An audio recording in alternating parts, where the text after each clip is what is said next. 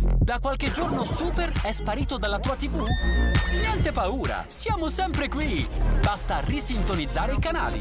È davvero facilissimo. Se hai bisogno d'aiuto, vai su supertv.it.